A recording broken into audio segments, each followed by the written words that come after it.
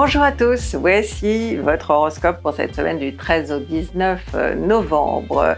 Euh, vous likez la vidéo, vous vous abonnez hein, et euh, vous n'oubliez pas que nous avons des réseaux sociaux avec des petits posts quotidiens, Facebook, Instagram, Twitter. Dans l'ambiance de cette semaine, dans votre horoscope, ouf, hein, c'est une semaine de détente. Le soleil en scorpion qui, je le rappelle, brille pour tout le monde, euh, fait que des bons aspects, et en particulier donc avec Neptune euh, et avec Jupiter, hein, qui a reculé à la fin euh, des poissons. Donc il faut profiter, hein, c'est le mot maître de cette semaine, en profiter pour vous ressourcer. Il y a un côté résilient, on retrouve une espèce de paix intérieure, hein, ou, alors on fait appel à ces ressources internes pour euh, retrouver euh, la paix dont on a besoin. On a besoin de se ressourcer sous cette conjoncture. Le soleil est toujours en scorpion, hein, le signe justement des ressources euh, interne, de ce qu'on va chercher au plus profond de nous, euh, des ressources dont on n'est peut-être pas conscient parfois, mais que la conjoncture nous incite à aller découvrir. Euh, en conséquence, hein, euh, essayez d'être le plus possible ouvert au monde environnant. Ne vous repliez pas sur vous-même. Ne cherchez pas à vous noyer dans le travail ou dans les euh, détails de manière à oublier euh, hein, la situation nationale ou internationale. Euh, non, vous trouverez forcément du plaisir à être open hein, sur, sur le monde et sur les autres même si les informations ne vous conviennent pas. Si vous avez quelque chose à réparer, hein, réellement ou symboliquement, eh bien, la configuration de cette semaine vous donne tous les outils dont vous avez besoin pour faire cette réparation euh, entre guillemets.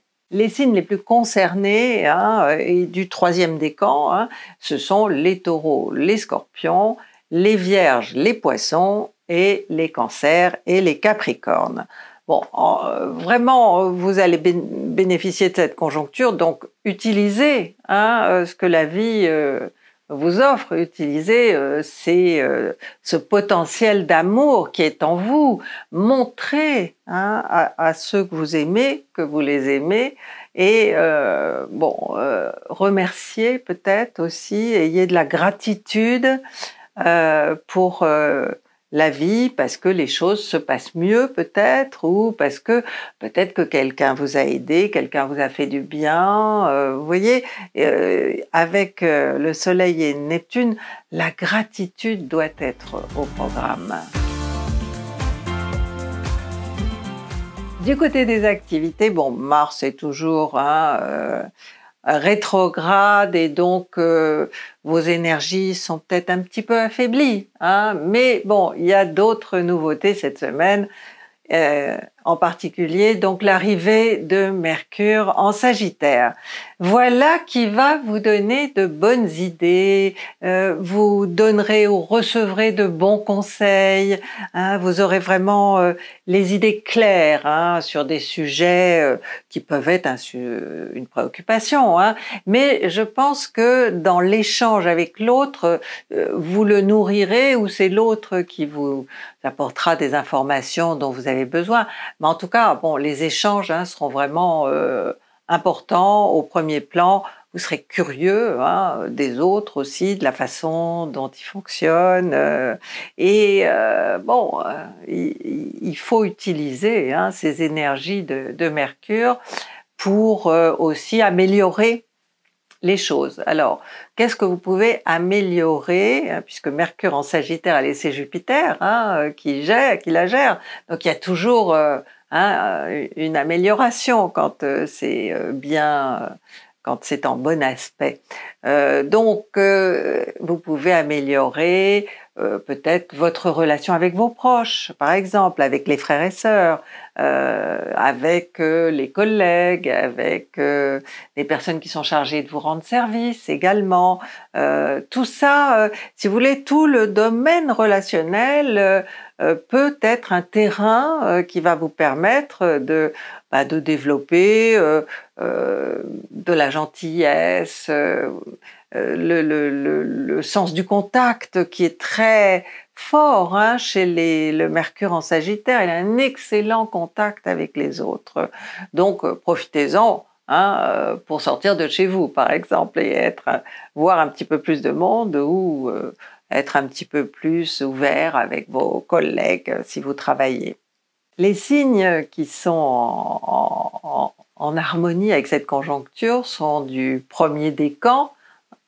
Enfin, hein, ça fait euh, quelques semaines quand même qu'il ne se passait pas grand-chose pour le premier décan. Donc c'est le premier décan de la balance, le vôtre, euh, ami bélier. Les versos sont également euh, bien concernés, les lions, et enfin les Sagittaires, puisque Mercure est chez vous, et les Gémeaux, puisque Mercure s'oppose. Donc euh, pour vous deux, hein, il s'agit vraiment là de communication. Hein. Pour les autres, peut-être il s'agira plus de donner des conseils, de penser positivement. Hein, il faut avoir des pensées positives avec euh, Mercure en, Sagittaire et, il faut développer votre optimisme, c'est important.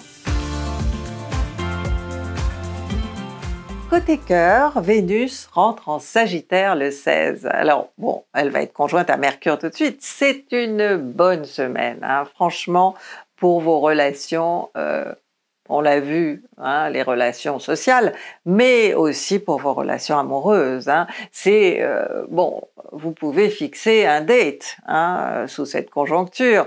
Euh, rencontrer quelqu'un sur Internet euh, et euh, vous donner rendez-vous. Euh, il y a une notion hein, de rendez-vous, de contact chaleureux, convivial. Alors peut-être vous allez être invité quelque part et que vous allez croiser de nouvelles têtes. En tout cas, Bon, si vous êtes déjà avec quelqu'un, Vénus en Sagittaire, hein, bah, c'est pareil, euh, c'est, euh, elle est chez Jupiter, donc euh, il y a une amélioration, une augmentation, un accroissement, bref, des sentiments parfois XXL, hein, franchement, et ça peut jouer au niveau de la gourmandise, hein, où vous pouvez faudra faire attention à pas hein, prendre quelques kilos parce que vous serez hyper gourmand. Et puis aussi, bon, au niveau de l'argent, hein, euh, vous pouvez, euh, euh, l'argent peut rentrer. Et c'est de l'ordre du plaisir. Hein, c'est exactement amour et argent vont de pair. c'est la même planète qui les représente. Donc, si vous voulez, les, les, deux domaines peuvent être activés par la présence de de cette Vénus en, Sagittaire. Alors la notion d'étranger est également euh, dans l'air. Vous pouvez tomber sur quelqu'un qui a des origines étrangères ou alors euh, aussi euh, aimer, enfin aimer, avoir des sentiments pour quelqu'un qui n'appartient pas forcément à votre milieu. Hein, pourquoi pas Ça peut vous enrichir.